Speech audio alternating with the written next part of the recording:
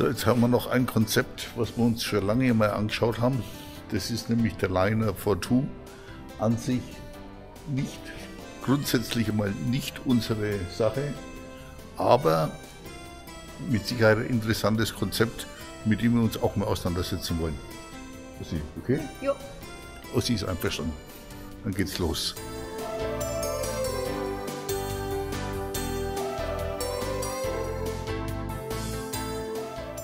So, hier haben wir den Liner for Two. Und da seht ihr schon die Daten, der ist jetzt auf Iveco Daily mit Doppelachse, den gibt es zwar auch auf Fiat, aber dann hat man keine Zuladung mehr. Länge 785, das käme also in unserem Bereich und 3,12 Zentimeter Höhe, das könnte man noch vertragen. Und der kostet jetzt hier, wie er so steht, 271.000 Euro. Also der hat schon Grundpreis 196.000 Euro. Also da muss man schon einiges zugeben, wenn man sich das Fahrzeug leisten will. Und, aber wir schauen jetzt da mal rein. Zumal man hier, wenn man schläft, auch wohl ein Aussichtsfenster hat. Wir haben nämlich mit so einem Liner-Fahrer heute früh schon mal gesprochen. Und das ist Liner for Two. Für die Ussi und für mich. Also da haben wir schon mal eine Außenklappe zum Beladen des Fahrzeugs. Ja, und hier kann man ganze äh, Sprudelkäste reinstellen, dass man dann hier von innen die Flasche rausholen kann. Okay, irgendwo muss da was aufgehen. Mhm.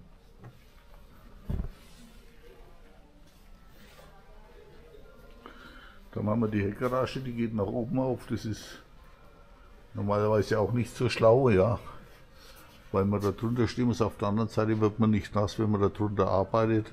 Hat also jeder Vorteil hat seinen Nachteil, aber ihr seht, ich kann da drunter stehen und das ist kein Problem. Ja. Also. Für uns wäre die Garage jetzt etwas äh, schmal oder irgendwie unpraktisch, aber das ist halt, weil die Sitzgruppe da oben drüber ist. Ja, genau. Und äh, hier ist jetzt eingezeichnet, dass man hier fürs Fahrrad irgendwie.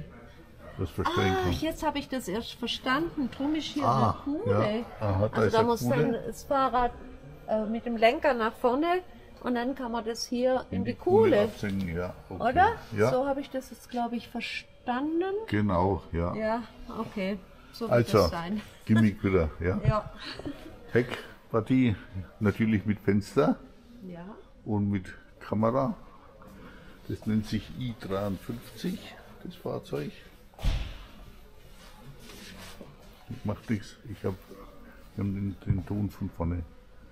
So, und da sieht man es hier.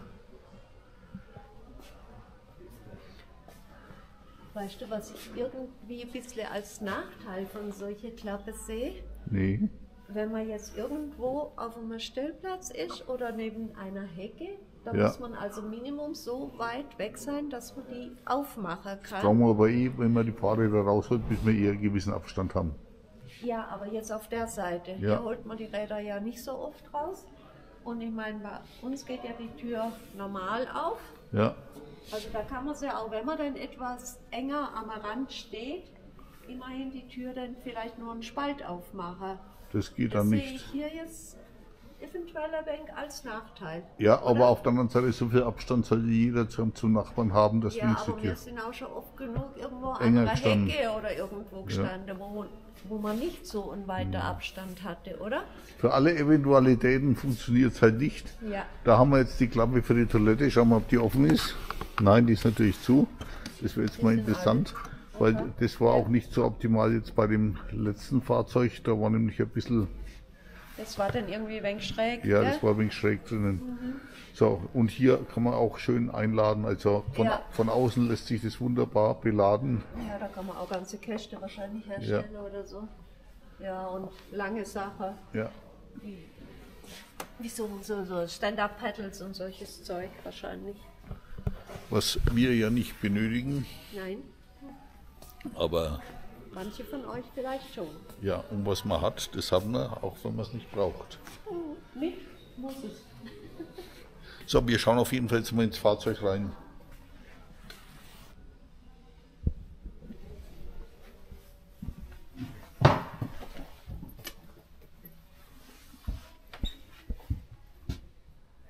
Ja, Helle, hast du es dir schon gemütlich gemacht. Super. Sehr bequem. Man kann, ich ziehe mir da meine Schuhe aus. Man kann da hier sich hinlegen wie zu Hause. Und da kann man in Ruhe Fernsehen schauen. Super.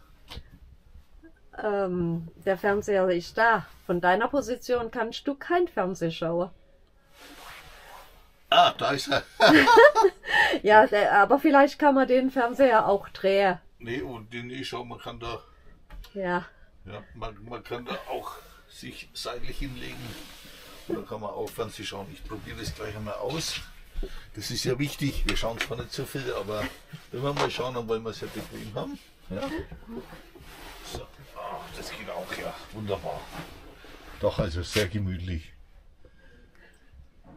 Die Sitzgrube hinten ist einfach gemütlich. Ja, da kann man sagen, was er wieder macht. Es ist schön. Und für vier Personen ist es. Da hinten sind, sind Sicherheitsgurte. Da kann man dann auch andere anlegen und das kann man dann auch sicherlich zum Bett umbauen. Vermutlich, ja. Also schön gemacht. Ja, was mich halt, was mir gefällt, ist natürlich die Küche. Die ist groß, hat einiges an Ablagefläche und sieht ganz sieht gut aus. Ist schön. So, das Ganze ist natürlich auch schön wohnlich. Durch das, dass hier dieser Wohnbereich so abgeteilt ist mit der Küche, da lässt sich schon gut haushalten. Hier? Da ist, Ja, die obligatorische Kaffeemaschine. jawohl. Da haben wir noch ein Gimmick entdeckt.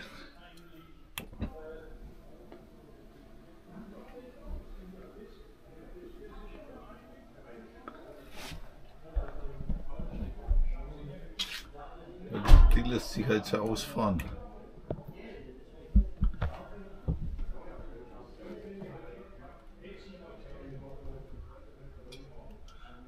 Also das ist für Tu, wenn man viel Besuch hat.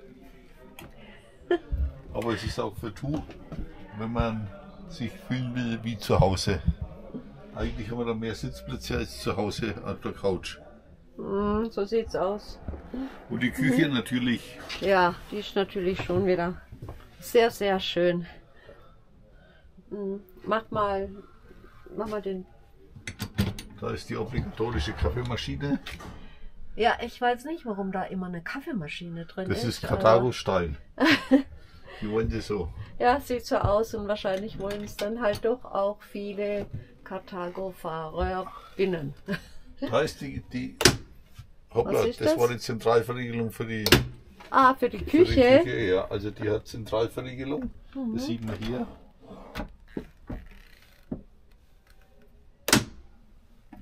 Da geht nichts mehr auf. Okay. Also, das ist doch mal ein Gimmick, ja. Zentralverriegelung. Da muss man halt immer dran denken, bevor man abfährt. Der ist auch verriegelt. Ja. Nee, Das ist kaputt. ja. So, Und das geht trotzdem auf. das sind nur die Schubfächer, Das Helmut. sind nur die Schubfächer, ja. Mhm. Okay. Also. So, da ist das Panel. Das hält auch nicht von alleine. Auch das sollte halten. Vielleicht ist da was zum Nachstellen, Ja, oder? muss- das ist wahrscheinlich. Muss nachgestellt werden, denn das sollte da immer eigentlich halten. Ja, klar, das müsste Ja, ja. da drauf Ja, ja, hängen bleiben. Und da ist, äh, muss eingestellt werden, das ist klar, da fuchteln ein Haufen Leute rum. Ja. So, dann schauen wir mal vor. Ja, und die Betten sind jetzt halt da oben. Ja, und die Betten muss man dann runterziehen. Jetzt schauen wir noch mal, wie das geht. Ah, halt, da muss ich erstmal in die Dusche. Da oben ist ein Duschkopf. Aber keine äh, Kleiderstange, wie ich jetzt hier sehe. Also mal ein nasses, naja, nasses Shirt oder irgendwas aufhängen, was nicht vom Wascher richtig trocken ist, geht hier nicht. Mhm. Haben wir hier Toilette. Ja, die ist natürlich riesig. Die ist riesig. Wow. Mit Doppeltür. Nein, aber mit Spiegel. Oh ja. Ja, Schön. Das ist schön mit dem Ja. Spiegel. Kann man sich dann selber beobachten. Nein, das ist zum Anziehen. Ach so. Und ein großer Kleiderschrank ist da. Ja. Den kann man lassen. Der ist akzeptabel. Und hier haben wir noch Schränke wie zu Hause. Hoppla. Oh, jetzt. Hoppala. Da wäre ich jetzt fast. Schaut mal, hier ist eine Stufe. Ja. Da wäre ich jetzt fast rückwärts runtergepurzelt. Hallo, hier geht's auch nochmal runter. Uiuiuiuiui. da muss ich erst der Riegel, die Verriegelung aufmachen. Hier, Wenn ja, man die Tür zu machen will. ja.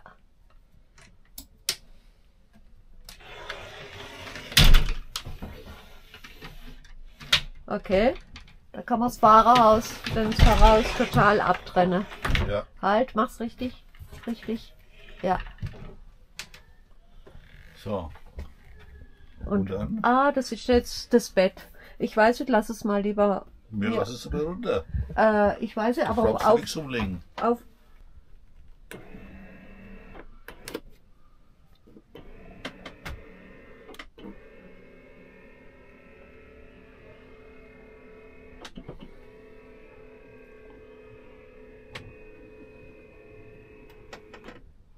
So, das ist das Bett. Ja, die Liegefläche ist groß. Und wenn man mit dem Kopf hier liegt, dann hat man auch ein Fenster zum Rausschauen. Mhm. Da muss man ja eigentlich. Nee, guck mal, hier ist aber sogar noch der Fernseher hier. Ja. Also, ich weiß nicht, ich wäre jetzt aber automatisch mit dem Kopf nach da, also nach hinten auf die Stirnseite. Wäre ich auch. Aber ob das richtig ist, ist die andere Frage. Ja. Denn hier ist auch der USB-Stecker, hier ist auch das Ablagefach. Hier ist das Ablagefach, Mhm. hier ist der USB-Stecker und hier ist das Fenster. Also offensichtlich. Okay, also äh, gemütlich im Bett Fernseh gucke ist in dem Fall nix, denn da muss man sich dann immer wieder umdrehen. Ja. Ja, das ist halt Also, bauartbedingt so. Aber zumindest kann man, kann man zum Fenster rausschauen. also ich würde sagen, das ist kein Fahrzeug für uns. Außerdem hätte ich nicht Lust, jeden Abend die Betten runter und am anderen Tag wieder hochzulassen. Ja, aber du kannst, du brauchst da gar nichts machen. Das heißt, da kann- braucht man gar nichts machen. Du musst ja umbauen. Du musst auch die Sitze Ja, erstmal nur- umstellen nur und dann den- musst Das Knöpfle drücken. ja. Also nicht meins. Damit auch nicht meins. Denn wo die Ursi nicht schläft, da schlafe ich auch nicht. Und allein will ich nicht. Nein, Also mit zwei Autos können wir uns nicht leisten. nein, wollen wir ja auch nicht. Nein, wollen wir nicht. Also die Dusche ist etwas größer.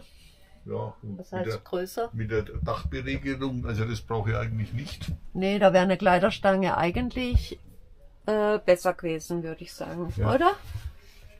Also, ah, so. Habt ihr Also- ins Klo schon reingeschaut? Ah ja, habe ich doch gesagt, ist riesengroß. Ja, gesagt, aber hast du es da gezeigt? Ja. Der hat übrigens dann auch vermutlich ein Fäkaltankumbau Umpumpsystem. Lass mal, lass mal, geht das jetzt? Ja. Jetzt. Zeig mal drauf. Jetzt weiß ich, warum hier so ein Schloss ist. Denn wenn man hier die Tür zumacht und man steht eventuell ein wenig schräg, dann geht die ja wieder auf. Und also braucht man hier ein Schloss zum Zudrehen. Jetzt habe ich endlich mal das System begriffen, warum man in einem Wohnmobil die Türen abschließen kann. Braucht man das? Ja, Man hätte das ja auch mit Türgriff irgendwie machen können. Dass man das so wie es hier ist, auch so gestaltet, oder? Ein bisschen komisch. Ja. Aber okay, Wem es gefällt. ein ganz besonderes Konzept. Ja. Beim Liner V2 stehen wir jetzt vor den gleichen Problemen wie beim 4,9. Auch da ist die Jalousie nicht elektrisch, das verstehe ich gar nicht, ja. Ich krieg's. Aber wir wissen nicht, ob sie als Zubehör. Also das geht auf jeden Fall mal runter. Aber hoch Ich weiß es nicht. Ich habe da totale Probleme. Ich finde keine gute Lösung. Liebe Verkäufer von Kadaru, seien uns nicht böse, wir hinterlassen das Fahrzeug so. Bevor wir was abbrechen, lassen wir es lieber so stehen. Ihr könnt damit besser umgehen. Also das sollte natürlich bei so einem Fahrzeug, was dann schon an die 270.000 Euro geht, sollte das dann schon elektrisch dabei sein, oder? Das ist ein stolzer Preis für, äh, für so ein Fahrzeug, ja. Ja, ja. Da steht auch ein E-Liner, der für uns aus einem anderen, aus Gewichtsgründen nicht in Frage käme. Aber da zeigen wir euch mal, wie die Jalousie funktionieren könnte. So, damit ihr mal seht, wie das mit der normalerweise bei jedem Katago gehen sollte. Firma Katago, so sollte es bei jedem gehen, zumindest gegen Aufpreis. Das elektrische Frontrollo ist beim Modell E-Line serienmäßig verbaut. Beim Modell 4.9 ist es nicht einmal gegen Aufpreis erhältlich. Ob man es beim Liner for Two einbauen lassen kann, wissen wir nicht. Tatsache ist, dass die Außenmarkise, die man im Winter gar nicht und sonst ab und zu mal braucht, elektrisch bestellt werden kann. Das elektrische Frontrollo, das man täglich mindestens zweimal benutzt, jedoch nicht. Den Sinn dieser Zubehörpolitik konnten wir nicht erkennen. Also man braucht den Finger gar nicht auf den Abzug lassen, ja, sondern nur einfach einmal draufdrücken. Das wäre eine echte Alternative. Ja, aber es gibt es leider nicht mit, äh, auf, mit Aufpreis. Nicht bei gegen Aufpreis. Ja.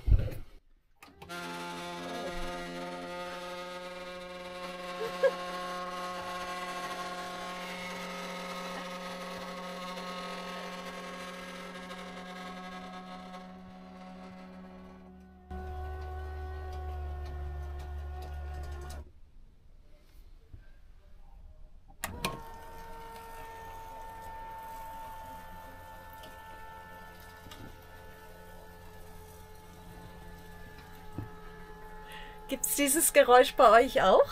Finde ich jetzt eigentlich auch nicht gerade prickelnd. So ist schön, das hat mir gefallen. Damit könnt ihr gut leben. Also der Liner von Two, Liner for Two, ist auf Iveco Daily und das wollen wir so und so nicht. Wir haben uns auch erkundigt und so um die 15 Liter braucht er in jedem Fall. Der lässt sich auch auflasten und äh, da sind wir zu Sparfüchse. Ja, wir fahren sehr gern ja Autos und wir müssen keine 15 Liter pro äh, Ja, zumal 100 wir ja viel fahren. wir fahren ihm extrem viel. Der Mercedes-Motor haben wir uns sagen lassen, der kommt mit locker 10 Liter zurecht. Dann mit AdBlue, ja. Und äh, hier 15 Liter, also das ist schon Das merkt man dann schon mit der Zeit. Ja, Ja. das geht in den Geldbeutel. Ja, und das brauchen wir eigentlich nicht. Nö. Außerdem sagt mir das Konzept jetzt nicht so zu. Es ist für uns nicht geeignet. Es ist ein schönes Konzept. nicht. Vor allen Dingen, wer lang irgendwo stehen will, der kann, hat ein richtig bequemes Sofa. Aber es ist nicht unser Stil, wie wir Wohnmobil reisen. Hm, Klar, wenn man länger steht, dann lässt, macht man das Bett vielleicht nicht jeden Tag hoch und runter. Ja, also ein tolles Konzept, würde ich trotzdem sagen, aber für uns nicht geeignet. Genau so ist es. In diesem Sinne, Kurzvorstellung, Liner for Two. Wer sich Interesse hat, wer Interesse dran hat, kommt hierher zu Carthago City. Da habt ihr alle Zeit und alle Ruhe, euch alles von Carthago ganz relaxed anschauen zu lassen und gleich ein Angebot ausstellen zu lassen. Mhm. Und wer nicht weiß, wo Carthago City ist, das liegt in Auledorf in Baden-Württemberg. Genau. Kurz hinterm Bodensee. Nördlich vom Bodensee. Hm, bietet sich dann an, in der Bodenseeregion oder Oberschwabenregion Urlaub zu machen. Oder Stadtführung in Konstanz. Oh, ja. Oder, oder, oder. Gibt so viele Möglichkeiten. also, jetzt reicht's. Bis dann. Ciao. Das war der Liner for Two.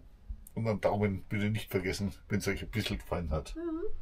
Und wenn es euch nicht gefallen hat, gebt auch einen Daumen. Ja, genau. Tschüss.